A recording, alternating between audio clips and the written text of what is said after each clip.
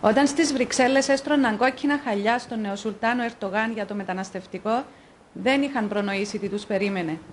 Όταν του εξασφάλισαν εκατομμύρια ευρώ για να μειώσει τις μεταναστευτικές εισρωές, δεν σκέφτηκαν ότι τα χρήματα αυτά ίσως θα χρησιμοποιήσει για να εξοπλίσει το λιμενικό της Τουρκίας και να εντατικοποιήσει τις προκλήσεις και τις απειλές στο Αιγαίο.